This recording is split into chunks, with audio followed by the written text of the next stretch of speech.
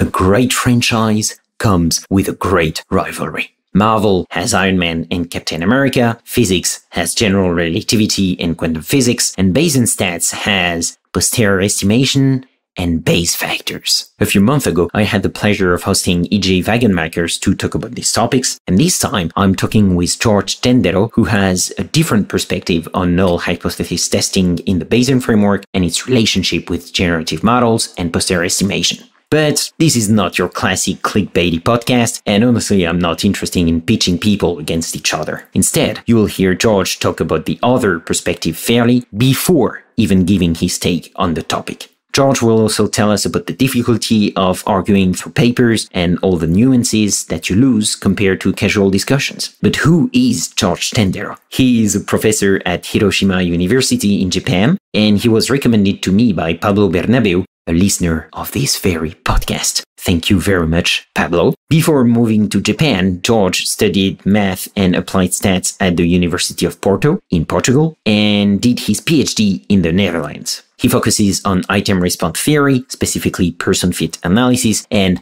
of course, Bayesian statistics, mostly Bayes factors. He is also passionate about privacy issues in the 21st century, an avid Linux user since 2006, and is trying to get the hang of the Japanese language. This is Learning Bayesian Statistics, episode 69, recorded September 1st, 2022. Welcome to Learning Bayesian Statistics, a fortnightly podcast on Bayesian inference, the methods, the projects, and the people who make it possible. I'm your host, Alex Andorra. You can follow me on Twitter at Alex underscore like the country. For any info about the podcast, learnbayesstats.com is la place to be. Show notes, becoming a corporate sponsor, supporting LBS on Patreon, unlocking Bayesian merch, everything is in there. That's learnbayesstats.com.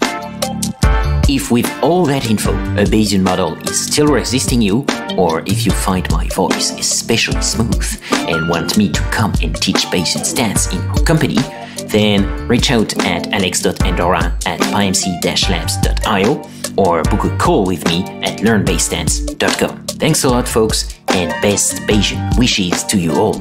Let me show you how to be a good Bayesian. Change your predictions after taking information in. And if you're thinking I'll be less than amazing, let's adjust those expectations. What's a Bayesian? Is someone who cares about evidence and doesn't jump to assumptions based on intuitions and prejudice. A Bayesian makes predictions on the best available info and adjusts the probability, cause every belief is provisional. And when I kick a flow, mostly I'm watching eyes widen, maybe cause my likeness lowers expectations of tight rhyming. How would I know unless I'm rhyming in front of a bunch of blind men dropping placebo controlled science like I'm Richard Feynman? Jorge Tendeiro, welcome to Learning Bayesian Statistics. Thank you, Alex. Thank you for having me here. Yeah, I'm really happy to have you on the show. And um, as is becoming a custom, this is thanks to a listener who sent me um, an email and brought your uh, work to my attention. And that was really cool. I, I, have to, I'm really bad with names, so I have to find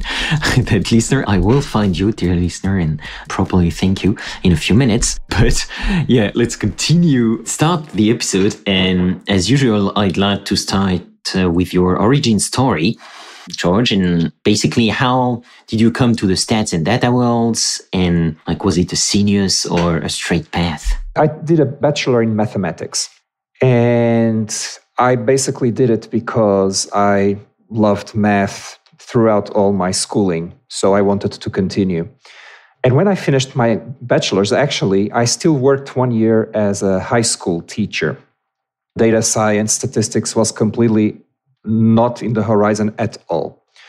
But after that year, I worked in high school. I really didn't like it because I don't think I'm suited to teach uh, 10 or 12 year olds, which is what I was doing. So I decided to come back and I then I chose an uh, applied statistics master's program. And then things started to happen for me because I actually when I started I wasn't that motivated or driven. But as I proceeded uh, with my studies, then I started to get uh, enthusiastic. And then I, I, just got deeper and deeper, and I never got out of it.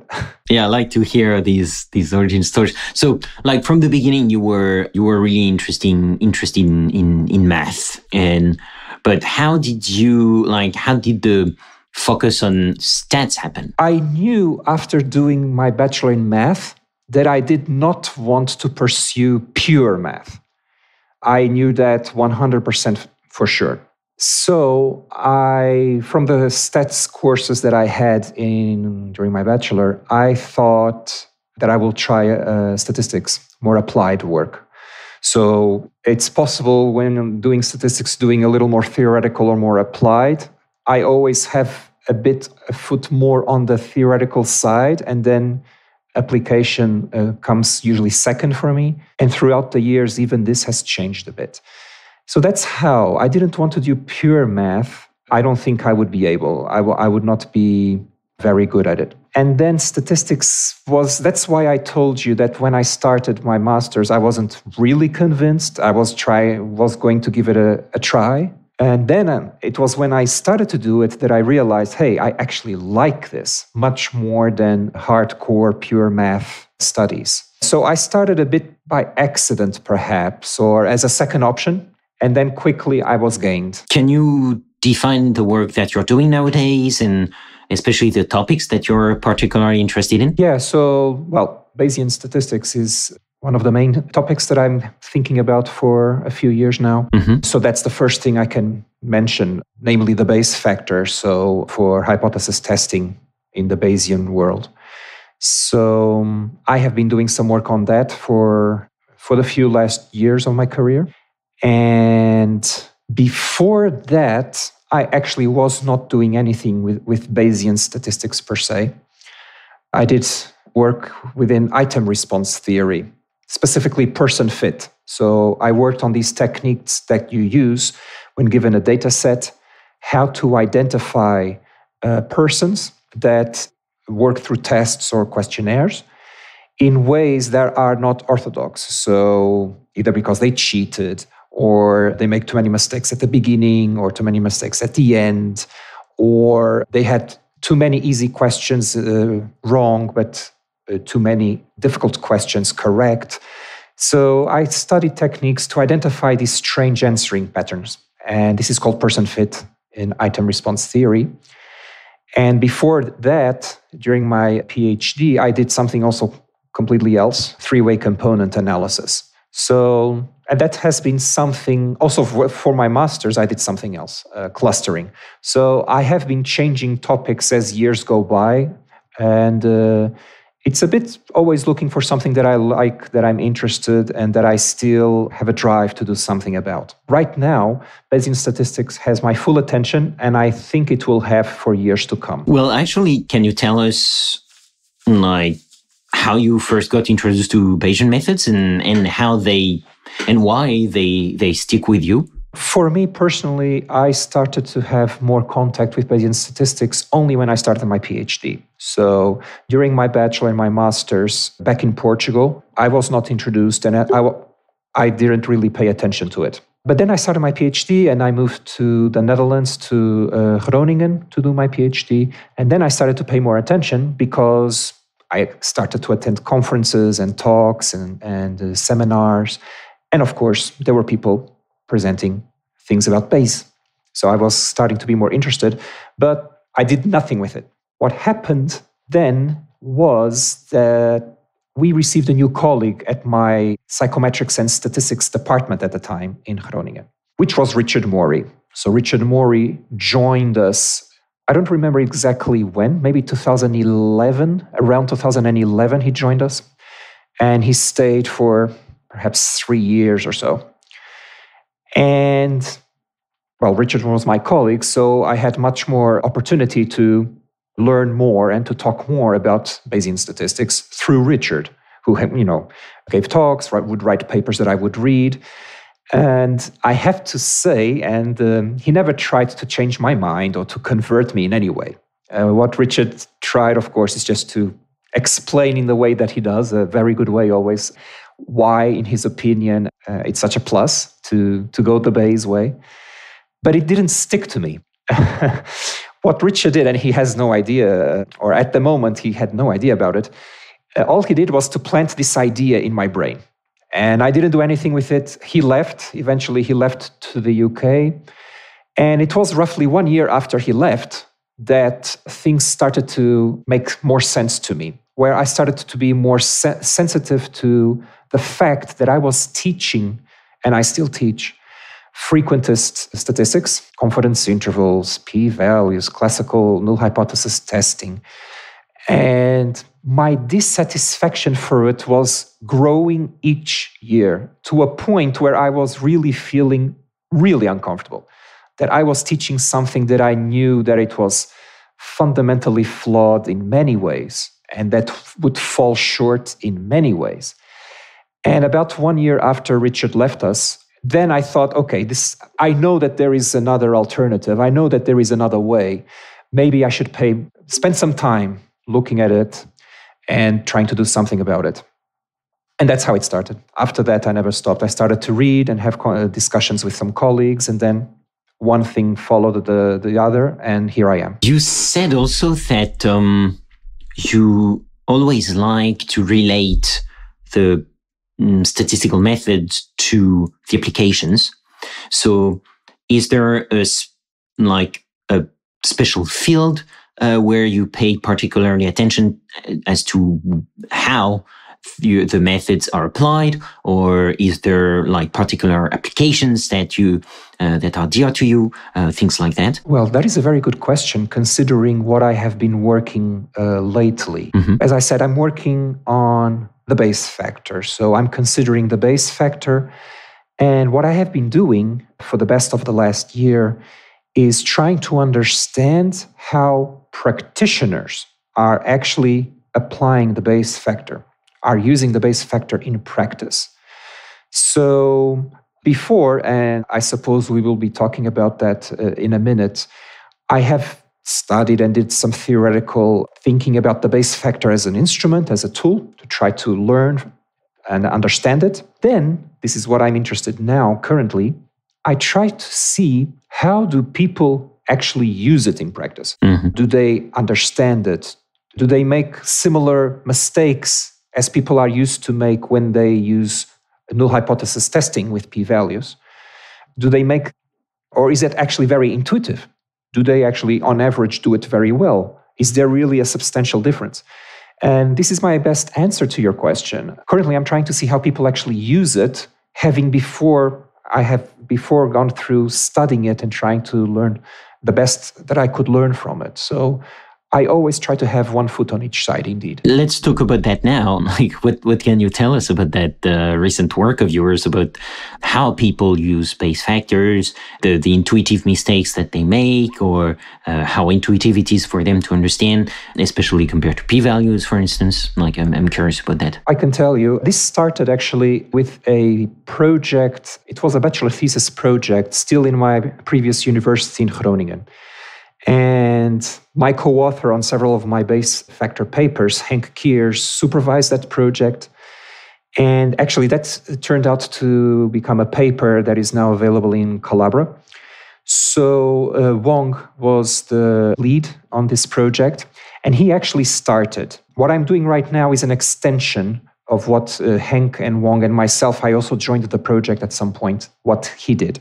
So I can tell you that that preliminary uh, uh, paper uh, project that Wong worked together with Henk and myself, he studied a set of around 70 papers where the researchers were using the Bayes factor to test hypotheses, to compare models. And he had already identified uh, several problems. For instance, people mistake confusing the Bayes factor with the posterior odds. Or, for example, people using the Bayes factor to make an absolute statement about one of the hypotheses, completely ignoring the fact that the Bayes factor is meant to compare one to the other. For example, making statements based on a Bayes factor, making con- uh, deriving conclusions based on an effect, then it was established that the effect exists or that the effect does not exist based on one computed Bayes factor. So this kind of using usages of the Bayes factor, in my own opinion, and I have a very strong personal opinion about this, I think these usages span from okay-ish, you kind of maybe you can get away with how you're doing that, all the way to that's just wrong. that you, you should not do that because the Bayes factor does not allow you to, to do that.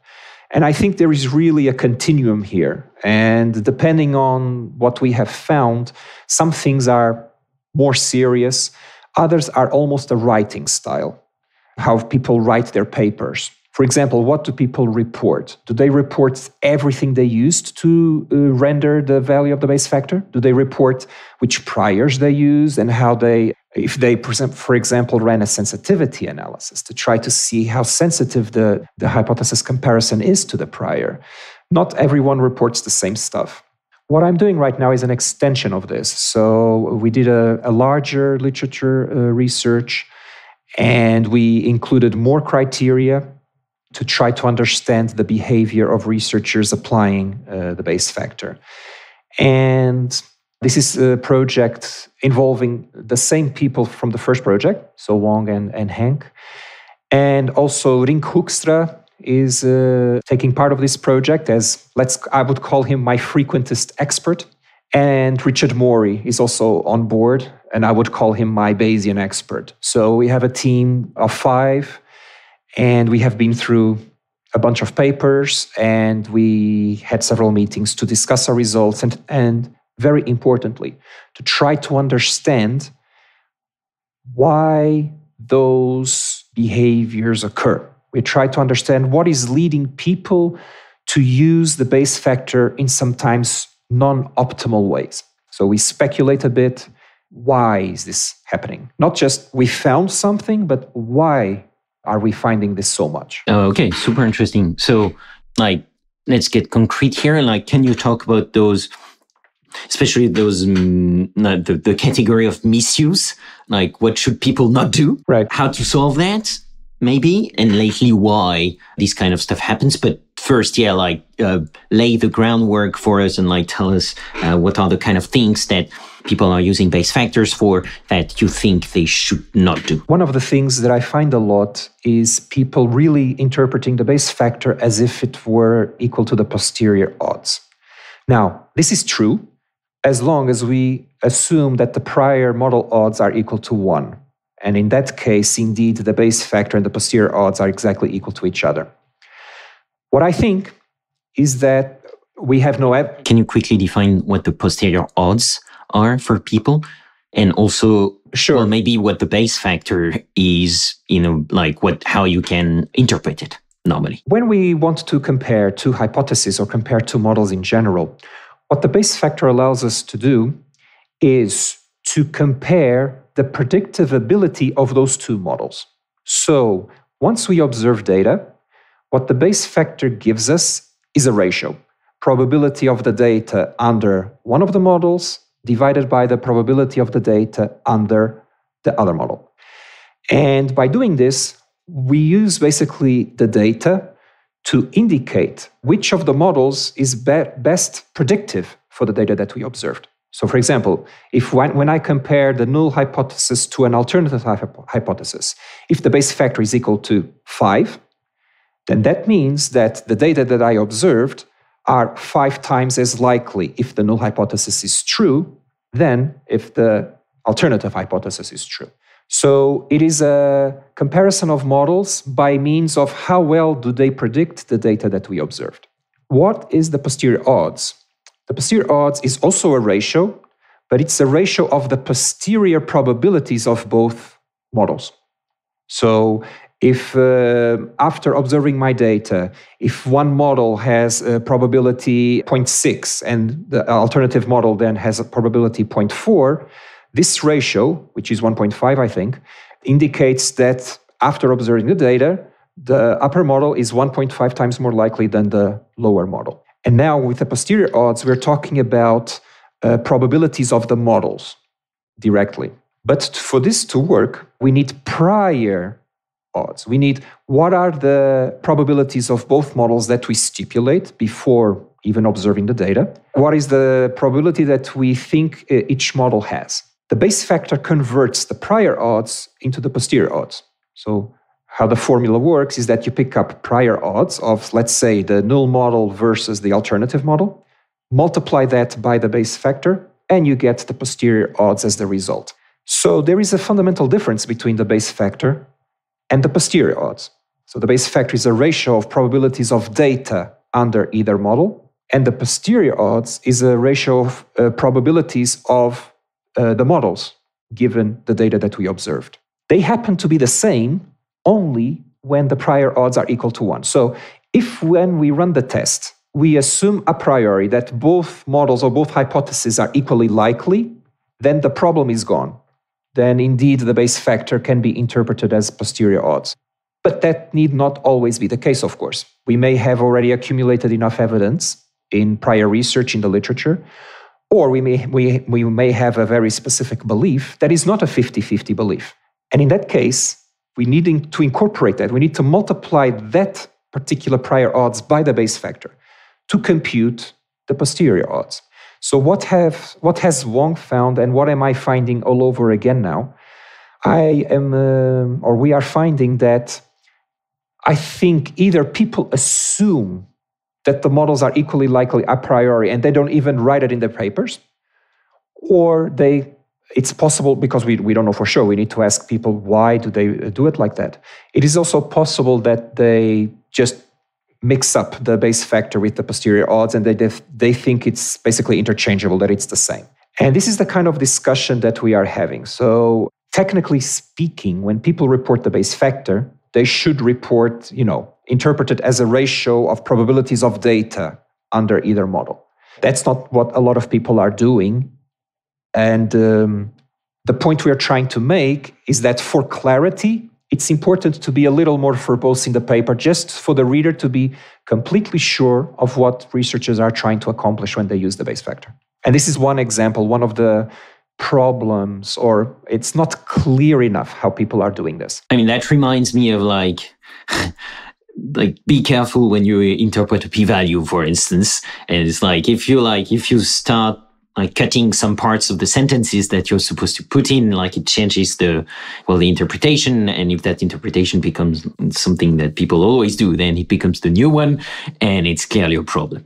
I understand. So thank you uh, very much for that, like very clear distinction between the two posterior odds and Bayes factors. I know it's a bit technical, but hey, from time to time we do have technical episodes in here, and I do think that um, that listeners will will like that. So that's one way Bayes factor is, is kind of confounded with posterior odds. And the way you think to solve that would be like to be more explicit in how in, in what the prior odds are or is is there something else that uh, you would recommend? For this particular case for this particular example yes. I think that would go basically all the way. If if authors would say something like Given what we know, state of the art, all the literature that we have analyzed, we have no strong, a priori, no strong preference of one hypothesis or one model over the other. That's a prior odds equal to one. Then carry on and compute the Bayes factor. It will be equal to the uh, posterior odds by your own belief. So I'm not talking much here if you think about it. It's just a little extra words, a little one extra sentence perhaps in the paper, just to clarify this so that we don't need to speculate. But are they equally likely a priori? Are they not equally likely a priori? And that would completely clear the question. So this is one of the suggestions, of course, that, as you can imagine, that we, we will provide suggestions in um, after our analysis of the data. And of course, one of the suggestions is the easiest. I think it's it's the one that can solve most of our problems. Be a little more detailed, even if you don't put it in the paper, maybe in supplementary material on you know on the journal's website. But provide a little more detail as to how you set the whole thing up. And then it'll be much clearer what you did. I have a lot of questions here. I we could go into like a, a few more examples of like the difficulties in in how to interpret Bayes factors and so on. But uh, maybe let's get a bit more general because you recently published an article actually advocating for posterior estimation as an alternative to Bayes factors. And that's actually the, the paper that the listeners sent me to like make me aware of your work, and I I found the name of that listener. So it's it's uh, Juan Bernabeu. Thanks a lot, Juan, for uh, recommending me Jorge's work.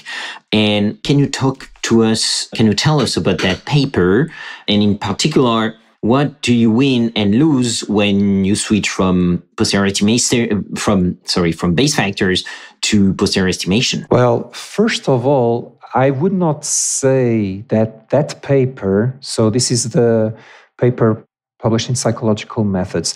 I would not say that that paper I defend like estimation as an alternative to Bayes factors. That's not exactly how we think of it. Mm-hmm. I think that so Bayes factors testing, testing comparing uh, hypothesis and estimation serve different purposes. And both me and people that did not agree so much with the paper we wrote, I think we all agree with this. Testing and estimation really serves different purposes. So, in my own view, I think they complement each other. They don't replace each other really. So, I would not go as far as saying that people shouldn't use Bayes factors, they should use estimation instead. What I will probably say, and uh, uh, here I might already lose some people, is that in my opinion, we test way too much. And Bayes factors are imminently the Bayesian testing tool that uh, psychologists are using these days. I think we test too much. We dichotomize too much. We use black and white decision making even when we don't need to, too much.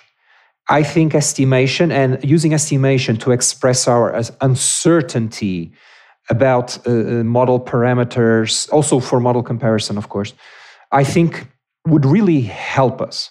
I think we should stop this black and white way of doing research. We have option A, option B. Which one shall I pick? We don't always need to pick one of the two. And this is what turns me off when it comes to hypothesis testing, either frequentist or Bayesian. And that, yes, in that paper that you mentioned, we did mention this. We test too much, and estimation actually provides answers to questions that are different, necessarily different from testing. But in terms of expressing our uncertainty and describing the, the world we live in, estimation is, is, is crucial and offers answers to questions that testing just does not, falls short. That's why I have such a, a big fancy for estimation. I understand. And yeah, interestingly enough, like on a personal level, that's how I was introduced to stats in a way because I did a bit of, of stats during my bachelor's, but not with computers. Like it was pen and paper. So I'm not coming from a hypothesis testing framework. And so I was first introduced to inference through uh, Bayesian inference. And so posterior estimation was my first tool, if you want. And indeed, yeah, like I do notice that a lot, especially in, in people who come from frequentist background, where it's like, if you cannot test, the method is worthless in a way. it's like, we have to test something. If we are not testing a hypothesis, we cannot say anything. And um, that's always quite puzzling to me because I really don't come from that same background. So it's always interesting to to me to to see that um, like that reflex need for uh, for testing. And I'm not saying it's always lo- useless, but I'm saying that yeah, I get your point that sometimes we absolutely want to see every problems as uh, testing problems. It's like the age old adage like if you if all you have is a hammer you have to see every problem as a nail so yeah yeah for sure like i found that very interesting and so like concretely you just said that we should not see every problem as a hypothesis testing problem. And that's what you say in this paper. And as you were saying, like some people, and in particular, EJ Wagenmaker, uh, Wagenmakers, yeah, who was on the show here, I will put the, the episode in the, in the show note. Like he and someone else, I think it was uh, Van. And Don. Yes. Don van Ravenzwaaij. Yes, yeah. exactly. Actually, Don was the first author. Okay, yeah. And so they responded to the, the paper just mentioned by you and your colleagues. So before you you talk about your rebu- your rebuttal, can you like genuinely genuinely tell listeners about their concerns about what you were saying. And then one last thought to complement what I was explaining before. In that paper, what we did was it's kind of an X-ray uh, for the Bayes factor. We picked the Bayes factor, which at the moment was still a relatively new instrument for me and Henk Kiers, who I wrote the paper with, mm-hmm. and we scrutinized it. We looked at it, we read a lot of literature, we really read dozens of papers to try to learn from it and see what others were saying and how they were thinking about it in theoretical from a theoretical perspective and how it should be used. We read a ton of stuff. And then we decided to write a paper which it could have been titled uh, Bayes Factor an X-ray. That's what we did. Well, Don and Eric Jan are for, for several years now strong defenders of uh, both Bayesian statistics, but very in particular of the Bayes factor. And um, when they, and Don at the moment, he was my colleague. So he was in the same department as I was. And so he knew, of course, what I was writing with, uh, with Henk Kiers, and um, they didn't agree. I remember once talking with uh, EJ at a conference somewhere in the US, and I actually discussed with him what was about to become the preprint of that paper. And I told him, look, I have a list. We studied the Bayes factor. I have a list like with uh, 11, I call them issues, which is a word I'm, I'm a very careful now to use uh, from now onward. I have 11 issues on the Bayes factor. And I went through them one by one with uh, EJ um, between sessions, uh, having a coffee somewhere. And of course, I, I, remember that he didn't agree with me on everything, of course, because uh, EJ is very fond of the Bayes factor. And but sometimes he would say, "Well, I see where you're coming from but I actually disagree because of this and this. And we went through the 11 like that. But one thing is was that, and the other thing is when the paper came out. And when the paper came out, uh, Don and EJ decided to uh, write a rebuttal. And they wrote a paper where they picked up the same issues that we identified. And one by one, I think that what they did was try to debunk them. What we called an issue, according to their point of view, it's not an issue it's either, I believe Don said it was either a, a neutral or a salient advantage for, uh, of the Bayes factor to be like that for the 11. So, of the 11 issues we identified, they pretty much gave us nothing. They didn't see any disadvantage at all. Actually, some of them became advantages and not disadvantages. So, obviously, we read their rebuttal with a lot of interest because I knew that it was coming. So, we read it with uh, interest. And we simply did not agree with most of the arguments that they set forward on the matter. So we have really different views on this. It's very interesting that when we talk in person about it, and I have talked with, uh, especially with Don, I've talked many times about this topic uh, in person and online since I'm here in Japan. We seem to agree more when we talk than when we write. And this is a phenomenon that I have never met before. Uh, it's the first time where you can actually when you have a conversation, you can kind of organically understand each other. Even if you don't uh, uh, agree, you kind of understand the reasoning. But when you put it black on white, the message changes a lot. And it becomes really a, a football match, a competition. Like, this is what I think, but this is what I think. And then there's a clash and we're not talking anymore. There's really no time to try to convince each other of our, of our positions. Everything has to be written down. At the end, you know, after reading the rebuttal, me and Henk still don't agree with most of the arguments that they use. I think to some extent we will never agree on many things we have discussed on those papers. And this comes to show, I think, just how complex, for example, the Bayes factor as a, a Bayesian tool is. It's not as straightforward or as intuitive or as peaceful as sometimes one might think by reading some papers that are out there. You know very well the, the big discussions for decades that we have about p values, how misinterpreted, how abused, how used, misused, and abused they are. I'm coming to realize very quickly that the Bayes factor, if not used uh, or if people don't think a little more carefully about it, might become the 21st century p value.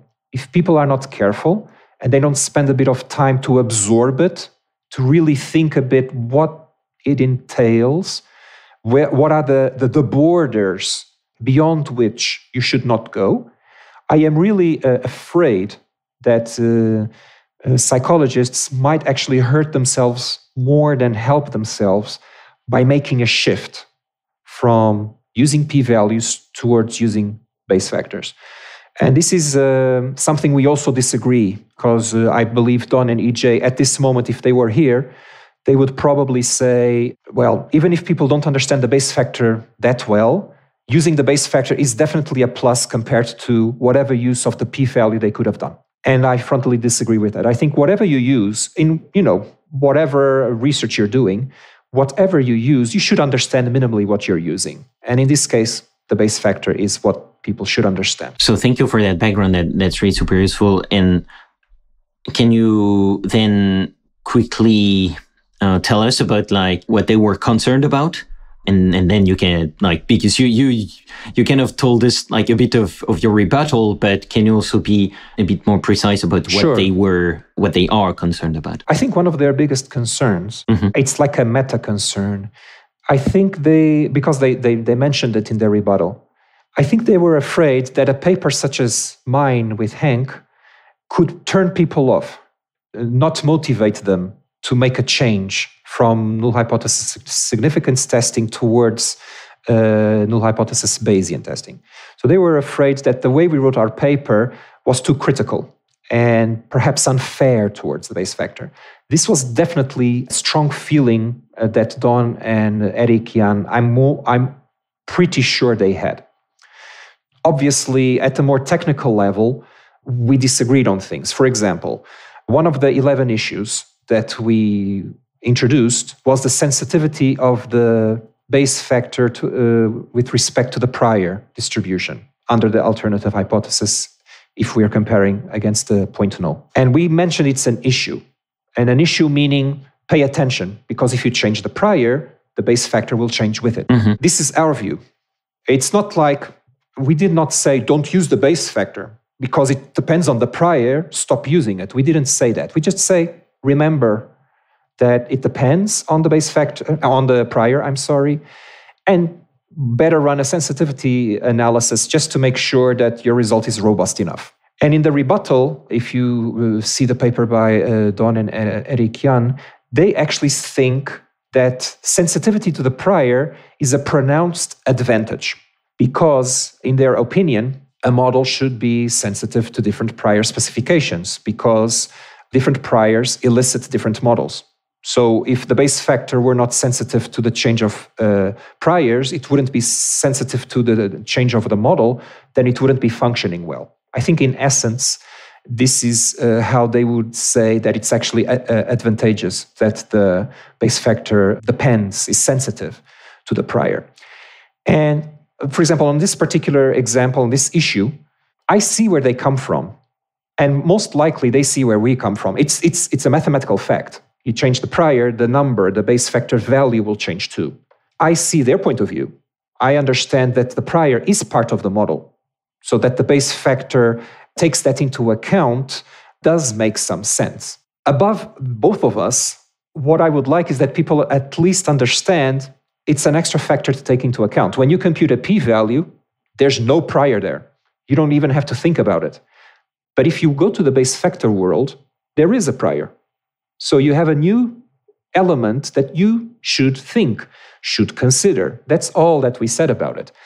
Probably you can pick up this example and multiply by 10 or by 11, and you will see how uh, the, our papers follow it. Uh, one paper follows the next. That's really super interesting, and I love that that discussion. And yeah, I agree that I mean, usually talking is uh, like leaves more space for nuance. You know, like you can say more words, you have more more time in space, and so you can be more nuanced in your in your thinking. So I think that's also why you agree more when you talk than when you than right. when you um, write, and, and also you can see the other person and understand that some word written may seem harsh, but actually when the person say it, you you understand that it's not an attack or something like that. Okay, and of course, like I'll put so your paper and the answer of EJ and Don, and also your rebuttal of their answer in the show notes. And EJ was there in episode 61. This episode was more focused about like frequentist hypothesis testing and Bayesian hypothesis testing. Uh, of course, it will be in the show notes for people who are interested in that. And so I'm actually like wondering if with that project that you just talked about, it seems like a paper that took some time to set up and write.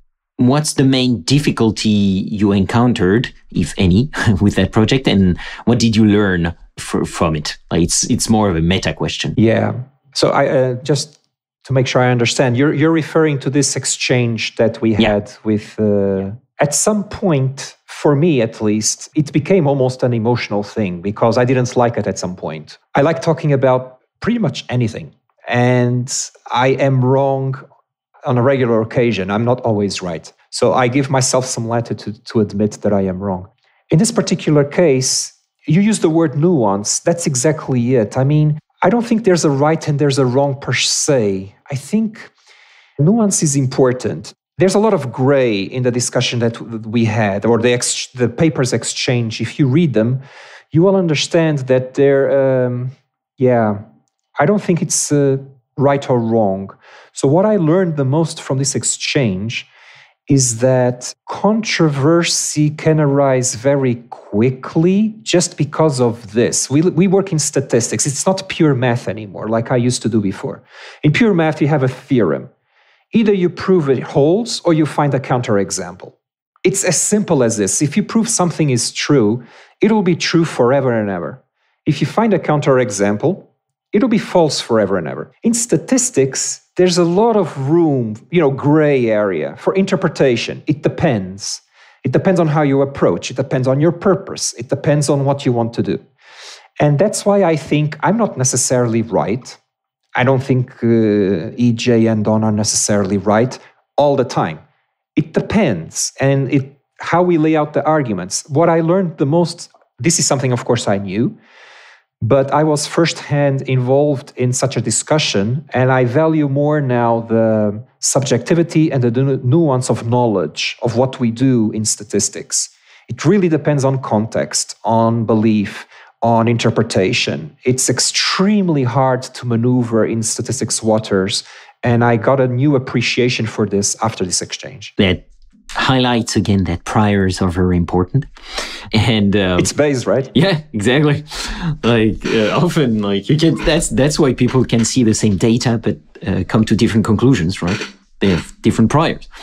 Yeah and I also like these like highlighting these kind of discussions because uh, it's something i i try to do a lot with this podcast is also helping people see and understand that uh, science is not something you know outside of the realm of humans. It's a human story. And so it's it's very important and it makes it also more relatable because you relate more to a story than to a theorem. And i think that's also a way to make people more interested in in science and scientific reasoning. And actually there is a podcast, uh, uh, yeah, uh, an LBS episode that was released just today. Uh, well, we record David Kipping, episode 67, where we talk exactly about that science education and uh, also probability of life in the universe. So one of my favorite episodes. Uh, so guys, if you if you missed it, I really recommend it. I'll put it in the show notes. Cool. So time is flying by and I still have a few questions for you. And like, let's make it a bit more general now and forward looking. So I'm wondering, in your opinion, what do you think are the biggest hurdles in, in the whole Bayesian workflow currently? For applied researchers like in the social sciences, there's still a, a thick technical wall. People need to know much more how to program and how to code to use Bayesian methods in a very efficient way. We now have programs like JASP, which help tremendously, which really, at a few clicks away, people can do so much now. But I still think if you really want to get your hands seriously dirty into Bayesian modeling, there's a set of tools that one needs to learn. And those, those are hurdles. You need to know perhaps a language like Python or R then you need to learn something like uh, Stan or JAGS. And then you need to know everything that it entails from um, preparing your data, the priors, tuning your samples very well, analyzing your results, making sure you converge. It's a lot. So, naturally, the Bayesian machinery is complex. Luckily, the advantage of those who decide to learn and to go through it is the tremendous power that it brings. It's extremely power, uh, powerful inferential tool. But I still think, even nowadays, um, in 2022, with graphical user interface as spectacular as, for example, JASP that this is probably still the biggest hurdle. And you have to think that most people learning about these things they are not undergraduate students anymore. They really have careers, busy life. They cannot just say, oh, I'm going to stop for a couple of months just to learn this new way of doing inference. It's difficult. You cannot learn really in a couple of nights if you want to do it very well. I would highlight that still. Let's see how things will progress. Uh, for example, JASP is just getting better and better. And hopefully it'll, you know, shorten this bridge between a practitioner who wants to learn and getting to the point where they can do it efficiently and well. That's a recurring topic where this is this is a, um, a set of very powerful skills, but as a lot of things that are worth it in life, it it requires effort and time, and so like there is definitely this balance of. Uh, yeah, like time investment, and also the fact that, like in research, open source contributions for instance are not really something that are that are rewarded and incentivized. So like you like the here there is also a problem of incentive alignment and so yeah for sure that's that's something that's very important. We've talked about that already in a few episodes of the podcast also in the other format that i have for the patrons especially the so the matchmaking dinner uh, that i had with uh, Demetri Pananos and Ravin Kumar. I think we talked about that a lot and also episode 35, I think, with Paul Bürkner, uh, the creator and maintainer of BRMS. About that, so I'll, I'll, put that in the in the show notes. So before closing up the show, I'd like actually to ask you about, well, the future of Bayesian stats. What does it look like to you? And more specifically, what would you like to see and not see? Well, they are really complementary of each other. I would like to see inference used one once for uh, you know for once. I would like to see it being used well. We have been butchering since the 1920s. We don't seem to be able to do it right, uh, you know, massively. We cut corners and we uh, we just bluntly make mistakes out of ignorance, sometimes on purpose. What I would like in the future is to see a research world where this is the exception and not the rule. I think for a hundred years, it's fair to say that we have really been really butchering through it. Now, uh, Bayesian, let's say Bayesian statistics for the last 30 years since MCMC became revolutionized uh, Bayesian statistics, it's gaining traction, becoming more and more important. I hope for the best. And with all the open science tools we have now, we can share code we use in our analysis the data that we used. I hope that everything combined as a pack means that in 20, 30 years, uh, we are much better off than we have been for the last 100. This is something that I would like very much to see uh, happening in the future. Well, actually, talking about the um, uh, the future, which I'm wondering which projects uh, of yours are you most excited about for the coming month? So this I described uh, the, the current one that I'm working on, this extended study that I continued from Wong. And this is a work in progress. We are writing the paper right now, and uh, everyone has to go through the, the manuscript. This is uh, going right now. The next step will be to uh, pick up the uh, findings from this project and try to, you know, be educational about it. So we don't want just to preach, this is wrong, that is wrong, and that is also wrong. We want to show people, okay, how can we do this well? So we want to help to contribute to educate and to raise researchers in the in, in the good way. And that'll be one next step, at least, that I foresee for the coming months to use the findings that we are collecting now to offer some suggestions and to try to create some material that can be used in education, really, to help people to learn, to assist people. And I can tell you that this is one of my near very short term future plan that I have together with some colleagues. That sounds like um, a couple of very exciting months in uh, ahead of you. So happy to hear that. And um, so, as usual, before we we close up the show, I'm going to ask you the two questions I ask every guest at the end of the show. So, first one is. If you had unlimited time and resources, which problem would you try to solve? Well, perhaps the inference problem. Why can't we just get it right? Of course, we know there's a lot of wrong incentives, push, you know, pushing, steering people in the wrong direction. We know all of this. But if I had time and money with no end, I would really like to deeply understand it. Um, what, why, and what can we do to just get over this? I mean, enough is enough. Enough of uh, pretending to do serious science, and we're not. And when we are not doing serious science, it's just wasting money, wasting time, hurting people. That's what I would like to do if I if I if I had the chance. So second question, if you could have dinner with any great scientific mind, dead alive or fictional, who would it be? That would be a mathematician. Mm-hmm. And that would be Ramanujan. I would like to if I had the privilege to sit with him for 10 to 15 minutes, I would take it right now because he was absolutely brilliant in an unconventional way. So it's not easy to understand who Ramanujan was because he grew differently, he learned mathematics in a different way, and he was absolutely brilliant. So if I could, that's what I would do. Well, that sounds like a like a cool dinner to have indeed. Dinner, coffee, small snack, whatever time he would give me.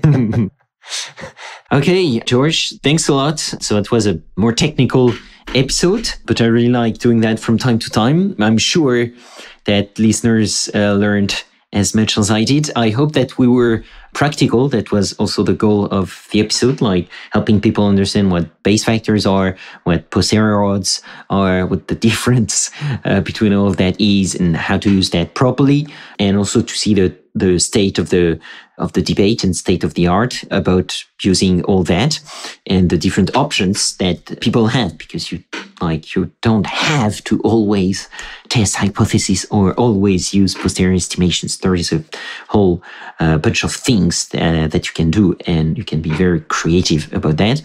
As usual i put resources and a link to your website in the show notes for those who want to dig deeper. Thank you again Jorge, for taking the time and being on this show. Alex, uh, thank you very much for the opportunity, and I really enjoyed being here. Thanks a lot. You bet. Come back anytime.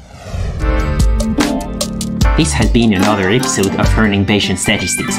Be sure to rate, review, and subscribe to the show on your favorite podcatcher or on Podchaser, and visit learnbayesstats.com for more resources based on today's topics, as well as access to more episodes that will help you reach true Bayesian state of mind. Learnbayesstats.com. Our theme music is Good Bayesian by Baba Brinkman with MC Lars and Megaran. Check out his awesome work at bababrinkman.com. I'm your host, Alex Andorra. You can follow me on Twitter at Alex underscore Andorra, like the country. You can support the show and unlock exclusive benefits by visiting patreon.com slash learnbayesstats. Thanks so much for listening and for your support. You're truly a good Bayesian. Change your predictions after taking information in. And if you're thinking I'll be less than amazing, let's adjust those expectations. Let me show you how to be a good Bayesian. Change calculations after taking fresh data in. Those predictions that your brain is making, let's get them on a solid foundation.